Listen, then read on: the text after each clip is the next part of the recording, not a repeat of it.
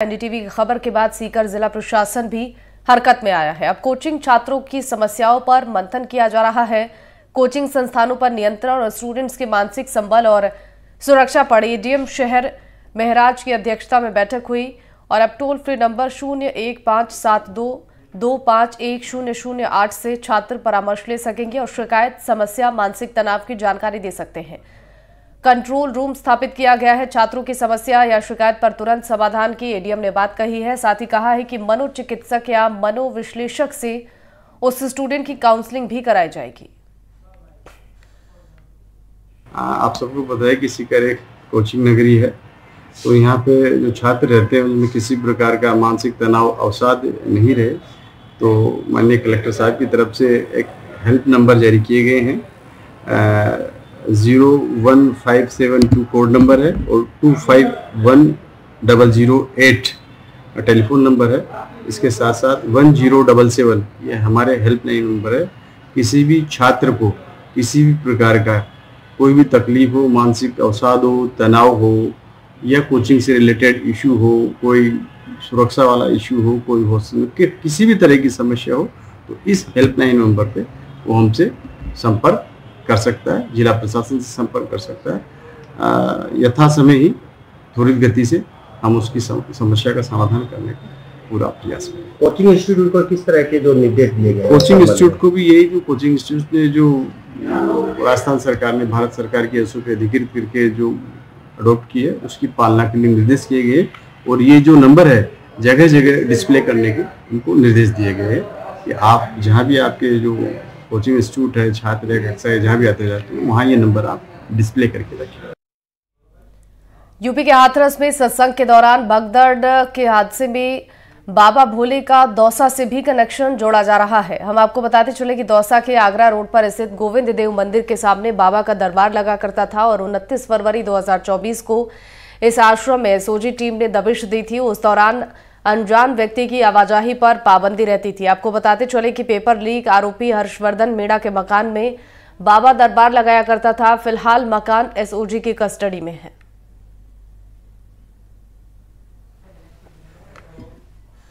पिछले दिनों एक प्रकरण में हर्षवर्धन नाम का एक पटवारी है, उसको अरेस्ट किया था एसओजी ने।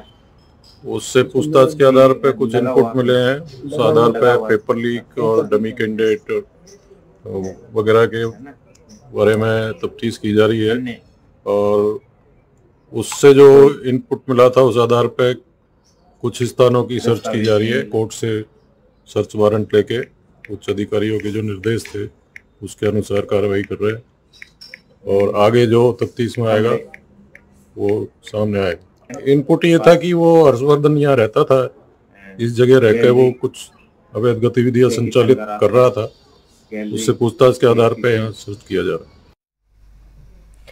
राजस्थान विधानसभा का बजट सत्र आज से शुरू हो गया। सुबह 11 बजे हंगामे के साथ शुरू हुआ और करीब 45 मिनट बाद सदन की कार्यवाही गुरुवार सुबह 11 बजे तक के लिए स्थगित कर दी गई। इस दौरान विपक्षी दल के नेताओं ने सदन में जमकर नारेबाजी की। बजट सत्र की कार्यवाही शुरू होते ही राज्यपाल का भाषण नहीं होने के को लेकर विपक्ष ने जमकर हंगामा किया। नेता प्रतिपक्ष ने कहा कि जब भी नया सत्र शुरू होगा, राज्यपाल के अभिभाषण से होना चाहिए। राज्यपाल का भाषण न होना संविधान को चैलेंज करना है। विधानसभा अध्यक्ष ने टीकाराम जूली को जवाब देते हुए कहा कि ये दूसरा सत्र है। पहले सत्र के दौरान राज्यपाल का भाषण हो चुका है, लिहाजा बजट सत्र में राज्यपाल के भाषण की कोई ज़रूरत नहीं। भारी शोर शराबे के बीच देवनानी ने नवनिर्वाचित सदस्यों को शपथ दिलाई। और प्रदेश की भजन लाल सरकार 10 जुलाई को अपना पूर्ण बजट पेश करेगी। बिज़नेस एडवाइजरी कमेटी की बैठक में बजट पेश करने की तारीख तय हो गई। उसके बाद 11, 12 और 15 जुलाई को सदन में बजट पर चर्चा होगी।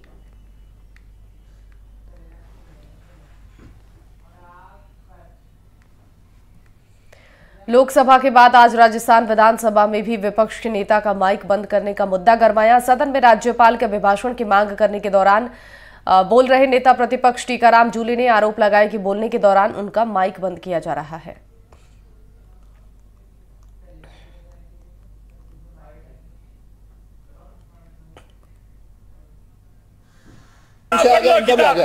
दोनों का रिकॉर्ड पे आ गया अब मैं व्यवस्था दे रहा हूँ। बात सुनिए लोकसभा में तो स्पीकर बंद करते हो आप यहाँ भी मेरा स्पीकर बंद करने लगे।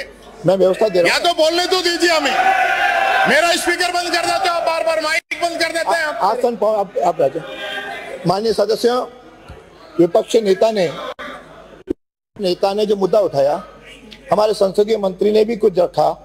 दोनों को सुनने के बाद ये व्यवस्था है हमेशा प्रथम सत्र के आरंभ में और प्रत्येक वर्ष तथा 224 के 2024 के प्रथम सत्र में संबोधन हो गया। 2024 का यह द्वितीय सत्र है इसीलिए राज्यपाल के अभिभाषण की कोई आवश्यकता नहीं है। आगे बढ़िए। ओके राजस्थान विधानसभा के बजट सत्र का आगाज़ हो गया है। नए सत्र में राजस्थान के कुछ युवा विधायकों पर सबकी नज़रें टिकी हैं। उनमें शिव विधानसभा से रविंद्र सिंह भाटी भी शामिल है। सदन की कार्यवाही के पहले दिन रविंद्र सिंह भाटी उपस्थित रहे। एनडीटीवी से बातचीत में रविंद्र सिंह भाटी ने बताया कि सदन का मंच जनता के मुद्दे उठाने के लिए सबसे उपयुक्त मंच है। लिहाजा वो जनता की आवाज़ बुलंद करेंगे। शिव विधायक रविंद्र सिंह भाटी हमारे साथ मौजूद हैं। भाटी जी, बतौर निर्दलीय विधायक आप विधानसभा में हैं और पहले दिन हंगामा देखने को मिला। लोकतंत्र की दुहाई दी गई, संविधान के नियमों का हवाला और एक तरीके से विपक्ष कोशिश कर रहा है सत्ता पक्ष को घेरने की। क्या आपकी भूमिका, आपकी रणनीति बतौर निर्दलीय विधायक क्या रहने वाली? देखिए, मैं यही चाहूँगा कि मेरे क्षेत्र की आवाज़ जो है, वो सदन तक पहुँचे और हमारा प्रयास रहेगा कि सदन पूरे तरीके से, सही तरीके से चले और प्रदेश की जनता को इसका फ़ायदा मिले। जी। क्या निर्दलीय विधायक हम झुकाव देखे? हैं बीजेपी की तरफ़ जिस तरीके से आपने पीएम मोदी की तारीफ़ की है लगातार अपने बयानों में अपने संबोधनों में तो अगर ज़रूरत पड़ती है तो भाजपा के साथ दिखाई देंगे। देखिए मेरा जो झुकाव है वो मेरी जनता की तरफ़ है और जनता के आशीर्वाद के साथ में इस सदन तक पहुँच पाया। जनता के आशीर्वाद के साथ में एक निर्दलीय को एक एक छब्बीस साल के युवा को पौने छह लाख वोट मिले। तो ये जनता का आशीर्वाद और मैं जनता के साथ रहना पसंद करूँगा। बजट से क्या उम्मीद? है बजट से बहुत उम्मीद है। सबसे बड़ी चीज़ कि हमारा वो जो क्षेत्र है जो भौगोलिक रूप से हमेशा विषमताओं में रहा है आ, उन्हें एक विशेष दर्जा मिले। मेरी विशेषकर यही मांग रहे रहेगी साथ साथ युवा हूँ। तमाम जो युवा जो आज बेरोजगारी के आलम में है उनको रोज़गार मिले। बिजली और पानी की जो समस्या दिन ब दिन जो विकराल रूप ले रही है इससे निजात मिले इससे आ, हम हम तमाम जितने भी लोग हैं उनको इसमें रिलीफ मिले। जी। शिव विधानसभा के अलावा बाड़मेर लोकसभा की जनता से भी आपने बहुत सारे वादे किए हैं तो उनका भी आपको ख्याल रखना पड़ेगा। बिल्कुल पूरे तरीके से रखेंगे और बाड़मेर जश्न बालोतरा की आवाज़ को इस सदन में मजबूती से उठाएँगे। वो मेरे अपने हैं वो मेरे परिवार के हैं उनको कहीं रुकने नहीं देंगे। पूरा प्रदेश का युवा भी आपसे बहुत उम्मीदें रखे हुए बिल्कुल प्रदेश के युवाओं की आवाज़ को मजबूती से प्रदेश के सबसे बड़े सदन में रखा जाएगा।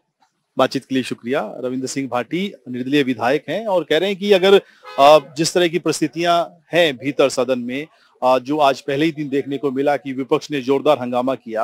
आवश्यकता पड़ने पर कहा और किसके साथ रहेंगे, इसका स्पष्ट जवाब देने से बच रहे हैं। जो जवाब है वो ये कि मैं जनता के साथ हूँ, लेकिन कोशिश करेंगे जनता के स्थानीय शिव या फिर बाड़मेर लोकसभा सीट के जो मुद्दे हैं, उनको सदन के भीतर उठाया जाए। कैमरामैन जसराज के साथ सुशांत पारिक, एनडीटीवी। बजट सत्र का पहला दिन हंगामेदार रहा। 45 मिनट की कार्यवाही के बाद विधानसभा की कार्यवाही कल तक के लिए स्थगित कर दी गई। पहले दिन क्या कुछ हुआ, देखिए हमारे संवाददाता सुशांत पारे की रिपोर्ट। देखिए, राहुल गांधी जी ने जो लोकसभा के अंदर वक्तव्य दिया कि हिंदू अहिंसक है, मैं उनकी आँख खोलने के लिए, कांग्रेस पार्टी के नेता की आँख खोलने के लिए आया हूँ कि हिंदू अहिंसक नहीं रहा। हिंदू हमेशा सर्वे भवंतु सुखने का संदेश देने वाला धर्म है और उन्होंने हमेशा दुखियों का सहारा देने वाला धर्म है और देश हित के लिए अपने प्राणों को निछावर करने वाला धर्म है। उसके लिए ऐसे शब्दों का उन्होंने प्रयोग किया। मैं ये अपने माध्यम से संदेश देने आया हूँ कि उन्हें माफ़ी मांगनी चाहिए इस देश के हिंदू समाज से। राजस्थान विधानसभा में बजट सत्र के पहले ही दिन जमकर हंगामा हुआ। कार्यवाही 11 बजे शुरू हुई, लेकिन कार्रवाई के साथ ही विपक्ष ने इस बात को लेकर हंगामा कर दिया कि नया सत्र है लिहाजा राज्यपाल का अभिभाषण करवाया जाए। स्पीकर की ओर से नियमों का हवाला दिया गया और कहा गया कि पिछला जो सत्र था, उसमें राज्यपाल का अभिभाषण हो चुका है। लिहाजा दोबारा से राज्यपाल का अभिभाषण नियमों में नहीं है लेकिन विपक्ष इस बात को लेकर लगातार अड़ा रहा। टीकाराम जूली नेता प्रतिपक्ष गोविंद सिंह डोटासरा हाथों में संविधान की प्रतियाँ लेकर लगातार हंगामा करते रहे और इस बीच में पहले ही दिन स्पीकर जो है वासुदेव देना देवनानी उन, उनको कहना पड़ा कि मुझे आप कठोर कार्रवाई के लिए मजबूर मत कीजिए। हालाँकि कुछ देर की कार्रवाई के बाद स्पीकर में स्पीकर ने व्यवस्थाएँ शुरू की और जो नए सदस्य चुनकर आए हैं उनको शपथ दिलाई। सदन में जो कार्य समिति है, उसका प्रतिवेदन रखा गया और शोकाभिव्यक्ति के बाद कल सुबह 11 बजे तक के लिए कार्रवाई को स्थगित कर दिया गया है। लेकिन कांग्रेस ने आज पहले ही दिन ये दिखा दिया है कि इस बार का बजट सत्र हंगामेदार रहने वाला है। सदन के भीतर जनहित से जुड़े हुए मुद्दे हों या सरकार से जुड़ी हुई कोई भी ऐसी चूक जिसको लेकर मुद्दा उठाया जाए, विपक्ष किसी भी तरीके से नहीं चूकेगा। हालाँकि आज सत्ता पक्ष की तरफ़ से भी जवाब देने की कोशिश की गई। अपने तरीके से उन्होंने नियमों का हवाला देते हुए समझाया। लेकिन सदन के भीतर का जो नज़ारा था, वो बता रहा था कि सदन का बजट सत्र आने वाले दिनों में बहुत हंगामेदार रहने वाला है। कैमरामैन जसराज के साथ सुशांत पारिक, एनडीटीवी।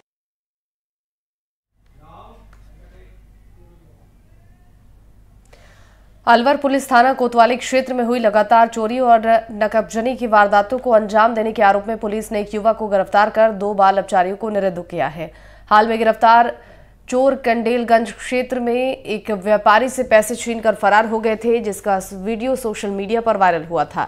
शहर में होती सिलसिलेवार चोरी को अंकुश लगाते हुए एक स्पेशल टीम का गठन किया गया, जिसमें तकनीकी और सूचना तंत्र की सहायता से सौरभ जाटव को गिरफ़्तार किया। वहीं घटना में शामिल दो बाल अपचारियों को निरुद्ध किया गया। पकड़े गए आरोपियों में करीब एक दर्जन से ज़्यादा वारदात करना कबूल किया है और पुलिस ने आरोपी के कब्जे से घटना में इस्तेमाल एक बाइक, छह हज़ार रुपए, तीन मोबाइल फ़ोन, एक कैमरा, एक लकड़ी का गल्ला और अन्य कागजात बरामद किए हैं।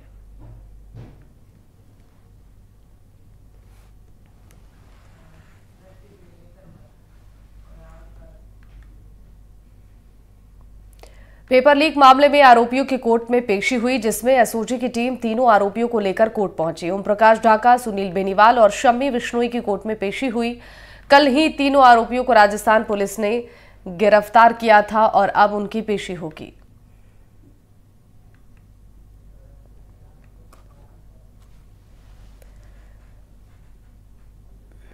चूरू में नया कानून लागू होने के बाद डीएसपी अनिल कुमार माहेश्वरी के नेतृत्व में पुलिस ने बड़ी कार्रवाई करते हुए भानीपुरा और डीएसटी पुलिस ने संयुक्त कार्रवाई करते हुए बालसर फाटा के पास एक कंटेनर से एक करोड़ रुपए की कीमत की तेरह किलो 715 ग्राम अवैध अफीम के साथ एक तस्कर को गिरफ़्तार किया है। डीएसपी अनिल कुमार माहेश्वरी ने मामले की जानकारी देते हुए बताया कि नया कानून लागू होने के बाद बानीपुरा और डीएसटी टीम ने संयुक्त कार्रवाई करते हुए मालसर फाटा के पास सरदार शहर की ओर से आए एक कंटेनर को रुकवाया और उसको चेक किया। तो कंटेनर में 13 किलो 715 ग्राम अवैध अफीम मिली। पुलिस ने नए कानून के तहत मामले की वीडियोग्राफी करते हुए उदयपुर निवासी तस्कर 50 साल के सवाई सिंह राजपूत को गिरफ़्तार किया है। वहीं पुलिस द्वारा जब्त अवैध अफीम की अनुमानित कीमत करीब एक करोड़ रुपए है।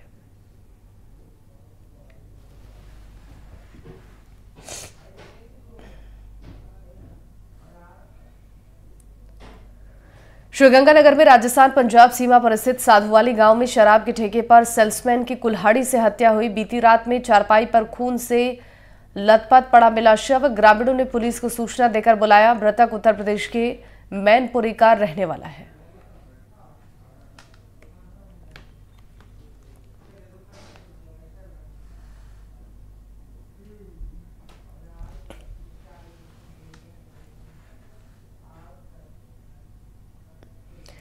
और अब नज़र डालते हैं इस वक्त की हेडलाइंस राज्यसभा में पीएम मोदी के भाषण के दौरान विपक्ष का वॉकआउट मोदी ने कहा, देश देख रहा है। जिन्होंने झूठ फैलाया, उनमें सच सुनने की भी ताकत नहीं है। हंगामे के बाद राजस्थान विधानसभा की कार्यवाही 4 जुलाई तक के लिए स्थगित। राज्यपाल का अभिभाषण नहीं होने पर विपक्ष ने उठाए सवाल। नेता प्रतिपक्ष ने कहा, सरकार ने संविधान को किया है चैलेंज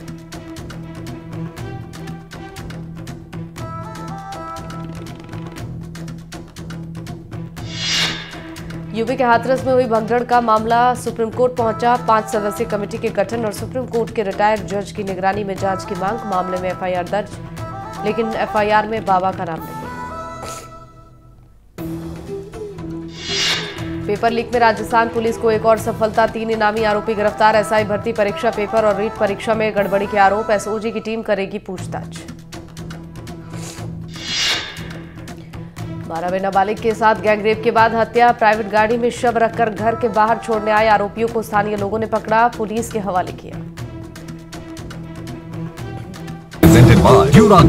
सीधी बात है साथ है।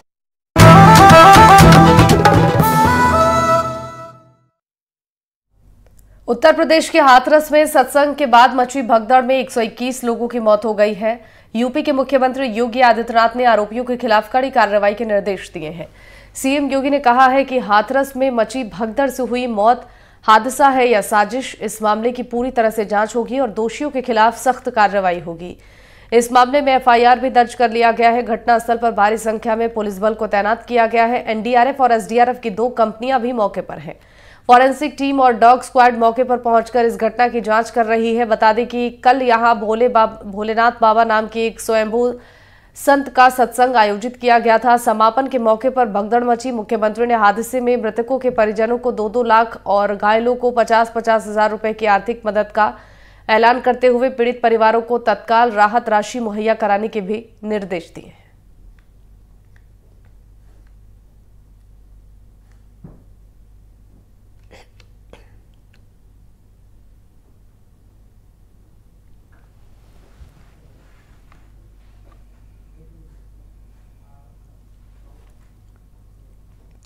राजस्थान के मुख्यमंत्री भजनलाल शर्मा ने भी हाथरस में भगदड़ से हुई मौतों पर दुख जताते हुए सोशल मीडिया प्लेटफॉर्म एक्स पर पोस्ट में लिखा है कि हाथरस उत्तर प्रदेश में सत्संग के दौरान मची भगदड़ में लोगों के हताहत होने का समाचार अत्यंत दुखद है। मेरी गहरी संवेदनाएँ मृतकों के परिजनों के साथ है। प्रभु श्री राम से प्रार्थना है कि दिवंगत आत्माओं को अपने परम धाम में स्थान और शोक संतप्त परिजनों को यह दुख सहने की शक्ति और घायलों को शीघ्र स्वास्थ्य लाभ प्रदान करें। ओम शांति।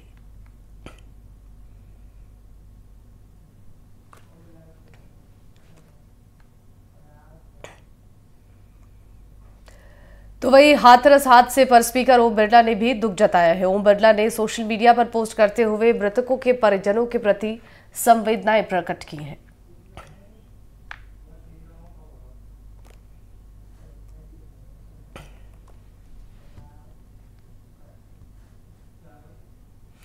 और मामले में बाबा के सेवादारों ने एनडीटीवी पर साफ़ कहा कि वो हादसे के बाद दोपहर तीन बजे मैनपुरी के आश्रम पहुँच गए हैं, लेकिन पुलिस ने एनडीटीवी से बातचीत में कहा कि बाबा आश्रम के अंदर नहीं है। ऐसे में पुलिस पर सवाल उठ रहे हैं कि जब दोपहर तीन बजे बाबा यहाँ पहुँच गए थे तो पुलिस ने उनसे पूछताछ क्यों नहीं की? और सुबह जो तीन दर्जन से ज़्यादा गाड़ियों का काफिला आश्रम से बाहर निकला, क्या उस काफिले में बाबा भोलेनाथ भी शामिल था? सीओ साहब हमारे साथ में है। सर यहाँ पर हैं अभी बाबा की नहीं अपने आश्रम में? जब कल ही बता चुका कि हम जब यहाँ आए थे तो बाबा तो है नहीं यहाँ पर। अच्छा बाबा नहीं है? नहीं लेकिन उनके आ, जो यहाँ पर सिक्योरिटी गार्ड हैं वो तो कल कह रहे थे कि तीन बजे के बाद में बाबा यहाँ आपसे आपसे कहेंगे मुझे तो नहीं कहे। सर हमारे पास बाइट है उनकी वो आपसे कहेंगे हमसे तो नहीं कहे ना। अच्छा। हमसे तो नहीं कहे। अच्छा। अच्छा तो बाबा के खिलाफ में मुकदमा तो दर्ज हो गया है? अब ये नहीं पता मुझे। अच्छा ये नहीं पता। नहीं हादरा हादसे में डीग ज़िले के कुम्हेर थाने के गाँव साबिरू निवासी एक महिला की भी मौत हुई है। महिला के शव को कुम्हेर अस्पताल लाया गया, जहाँ उसकी पोस्टमार्टम के बाद अंतिम संस्कार हुआ। डीग कुम्हेर विधायक डॉक्टर शैलेश दिगंबर ने जानकारी दी कि साबोरा गाँव से छह महिलाएँ सत्संग में शामिल हुई थी, जिनमें से एक महिला की मौत हो गई। जानकारी के मुताबिक भरतपुर और डीग से करीब 800 से ज़्यादा लोग इस सत्संग में शामिल होने गए थे। जानकारी के मुताबिक फुलरई गाँव में साकार हरि बाबा के सत्संग में शामिल होने के लिए विजयनगर कॉलोनी कुम्हार, दयुपुरा गाँव और कुम्हेर से बस आई थी। बाकी कई लोग अपनी छोटी गाड़ियों से भी गए थे। सत्संग में हुई भगदड़ के दौरान भरतपुर के दो और डीग ज़िले की एक महिला घायल हो गई, जिनमें से डीग ज़िले की साबोरा निवासी महिला राजेंद्र की अस्पताल में इलाज के दौरान मौत हो गई।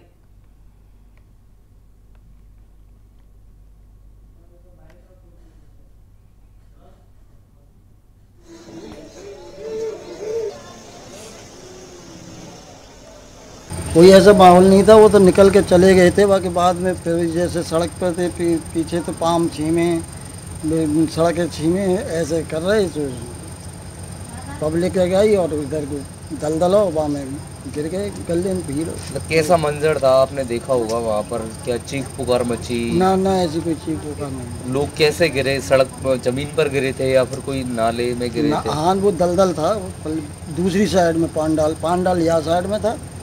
और दलदल यहाँ साइड में था। क्या कारण रहा गिरने का? कुछ नहीं वो तो जैसे निकल के गए वो तो अपने वो तो निकल के चले गए। बाबा भूले। हाँ पीछे थे तो पब्लिक है का सड़क पे है, कोई छी रही है कोई कुछ कर रही है तो ऐसे अदा से।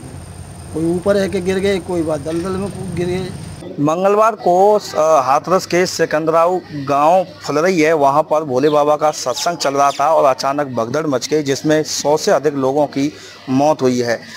बताया जा रहा है कि जो भरतपुर है, भरतपुर और डीग ज़िले से करीब 800 के आसपास लोग उस सत्संग में शामिल होने गए थे। और कुछ लोग बसों से गए थे तो कुछ लोग अपने वाहनों से गए थे। डीग ज़िले के कुमेर तहसील के गाँव साबोरा में मौजूद हूँ और जिन लोगों की मौत हुई है उनमें एक महिला शामिल है जो साबोरा गाँव की राजनदेही है। मैं राजनदेही के घर पर मौजूद हूँ मेरे सहयोगी दिखाएँगे। देखिए ये उनका घर है यहाँ मातम छाया हुआ है। उनके जो परिजन हैं वो दूर दराज से यहाँ पहुँचे हैं। हालाँकि उनका अंतिम संस्कार कर दिया गया है। ये उनके पति हैं बात कर लेते हैं। क्या नाम है सर आपका? प्रसादी लाल। अब प्रसादी लाल जी कब गई थी ये? परसों गई सोमवार को सात बजे। कितने लोग गए थे? अट्ठावन थे। अट्ठावन लोग गए थे। किस तरह से पता चलता है कि बाबा का सत्संग हो रहा है? कैसे सूचना मिलती है आप लोगों को? नहीं मुझे नेट पर ही आ जाए। नेट पर डाल देते हैं। तो इसकी सूचना कब मिली कि ये हादसा हो गया है और वो खत्म हो गई है? वो पाँच बजे मिली था। किसने फ़ोन किया था? संग गए जो ले गए वो मैं नहीं गया। फिर आप गए नहीं वहाँ? ना नहीं रहे हाँ मैं रात को लेने गया हूँ। रात को लेने गए वहाँ। हाँ पोस्टमार्टम सब वहीं हुआ है अलीगढ़ अलीगढ़ हुआ है हमारे सामने हुआ हमने करवाया है। आपने करवाया है। हाँ अंतिम संस्कार कर दिया। हाँ जी। कितने बच्चे हैं आप पर? चार हैं। कितनों की शादी हो गई है? दो उनकी लड़के की हो गई लड़की नहीं हुई है। नहीं हुई। देखिए बिल्कुल ये उनके पति थे प्रसादी लाल जी ये बता रहे हैं कि इनको शाम को सूचना मिली थी जो उनके साथ में गाँव की महिला गई थी उन्होंने सूचना दी थी और ये खुद वहाँ अलीगढ़ पहुँचे थे। और सबका पोस्टमार्टम कराया गया और ये सबको सावरा गाँव लाए और उनका अंतिम संस्कार कर दिया है। भरतपुर से एनडीटीवी के लिए ललितेश कुशवाहा डीग ज़िले के उमेर तहसील के सावरा गाँव में मौजूद हूँ। कल हाथरस के सिकंदराव गाँव के फुलरई गाँव में जिस तरह से सत्संग के दौरान भगदड़ मची थी उसमें सौ से अधिक लोगों की मौत हो गई है और उनमें एक महिला शामिल है जो महिला कुमेर तहसील के सावरा गाँव की है। मेरे साथ मौजूद हैं जो महिला अपने गाँव में बाबा के सत्संग में शामिल होने गई थी तो ये महिला इनके साथ में गई थी मेरे सहयोगी बता रहे हैं। अब इनसे बात कर लेते हैं आखिरकार उस समय क्या माहौल था क्या दृश्य था? क्या नाम है आपका? मेरा नाम गुड्डी है। अच्छा गुड्डी जी ये बताइए क्या जिस तरह से क्या माहौल था बाबा का सत्संग सत्संग चल रहा था। किस तरह से ये भगदड़ हुई? क्या वजह रही? सत्संग तो चल दो जब भगदौड़ भई गई जब तो खत्म है गो हाँ। बंद है गो आरती बोल गई जब पीछे भगदौड़ हुई है। क्या माहौल था वहाँ? कैसे आप देख रहे थे? नज़ारा क्या चल था बा- तो धीरे धीरे न कर रहे। हम्म। और रोड पे आके ज़्यादा एक इकट्ठी सी भीड़ है गई तो वाहनों खड़े इकट्ठी सी भीड़ है ये के ऊपर। गिरो बाबा के ऊपर ऐसे भीड़ ज़्यादा है गई। भीड़ में दब दब के। अच्छा जिन महिलाओं की मौत हुई है उनका क्या नाम है? राजन दे। वो भी आपके साथ गई थी? वो गिरी का बाजे के पहनाई में। नहीं यहाँ से आपके साथ हाँ, गई से तो अपने साथ कितने लोग गए थे आप? छह किसमें गए थे आप? बस में। तो वहाँ आप साथ नहीं थे? माँ जब आरती बोली का जब तक संगे से साथ में चलो का वो माते मेरा हाथ छोड़ा के है तो आप उनको कैसे पता चला कि उसकी मौत हो गई है? बहुत ढूंढ ढूंढ बचाई हमने। हम्म। जब पता लग चलिए कहाँ गए आप? अस्पताल गए? अस्पताल गए जब मिली। मिली वो? आपने पहचाना था हाँ पहचाना। आई कार्ड से पहचानी सकल दे पहचानी। कितनी भीड़ आई होगी कार्यक्रम में? भीड़ तो बहुत है उस समय क्या आपने देखा? मतलब चीप चीख पुकार मच रही थी उस समय जो हादसा हुआ था? हाँ भीड़ ही मच रही बस। अल्लाह मत ना मच रहा। रेला चले धक्का धक्का चलते हुए देखे क्या नाम है आपका? कमला अच्छा क्या था वहाँ आप बताइए। आप यूँ बताओ भीड़ ही वहाँ ज़्यादा। हम्म, सत्संग बंद है वो बाबा चले गए और जब जाके जनता गई का है तीन लाख लोग हैं कम से कम। तो भीड़ मची है खूब तगड़ी। तो जैसे चले कहाँ जैसे ढक्का मुक्कीनते ढक्का मुक्कीनते कच्चड़ और एक कच्चड़। कच्चड़ में जनता गिरी है फिर बाकी ऊपर भू गिरी है बाकी ऊपर भू गिरी है बाकी ऊपर भू गिरी है जैसे वो कुचल गई है। एक दूसरे के ऊपर चढ़ते हाँ हाँ। चढ़ते गए जो आदमी गिर गया फिर वो खड़ा ही नहीं हो पाया। खड़ा ना पाया और दूसरा आदमी खड़ा तो वो गिर जाए। तो आप इन्हीं के साथ नहीं उस हाँ। मैं इनके साथ लाई में दूरी। पर मैं देखो है वो। मतलब जो आप यहाँ से गए थे छह सात लोग वो अलग अलग हो गए थे वहाँ? हाँ अलग अलग है तो आपको कैसे पता चला इनके बारे में? यूँ ही पता चलो हमारे बस पे आ गए हम। हम्म, बस पे सब पहुँच गए राजन दे ना पहुँची मर गई कहा हम्म। राजन दे ना पहुँची। अब धीरे फिर ने के शांत है ये भीड़ जब ढूंढ मचाइए बाकी ढूंढ मचाइए जब ना पता चलो। फिर यूँ कहिए वहाँ जाओ अस्पताल अस्पताल जाओ। अस्पताल माते गए आदमी गए हमारे संग गए ऐ चेहरा के। वे आदमी गए हम तो औरत ही औरत है सब। माते ऐ चेहरा के गए ऐ चेहरा के पहचाने फिर हमने ले गए फिर हमने पहचानी है वो राजन दई तो अच्छा जब पता चला जब पता चला हमारा। जी चांच बना हमारे संग। तो आप ये क्या बता रहे थे कि बाबा ने कुछ कहा था कि ये रचना अलग होने वाली हाँ है? ऐसी तो बोली पहले पहले बोली। क्या बोला था आरती के पहले।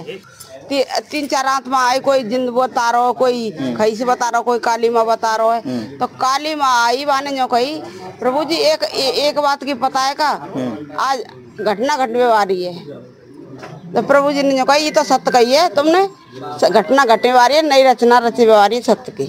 ये बोलिए बस। बिल्कुल देखिए ये सावरा गाँव की महिला थी जो बाबा के सत्संग में हाथरस के फुलरे गाँव में गई थी और जो महिला खत्म हुई है आ, वो भी इनके साथ थी लेकिन वहाँ वो अलग हो गई थी। इन लोगों का कहना है कि वहाँ भगदड़ हुई थी और जो लोग वहाँ दलदल थी दलदल में जो लोग फंस गए थे वो बाहर नहीं निकल पाए और जो भीड़ थी वो बेकाबू हो गई और उनके ऊपर से चढ़ते हुए चली गई। भरतपुर से एनडीटीवी के लिए ललितेश कुशवाहा की रिपोर्ट।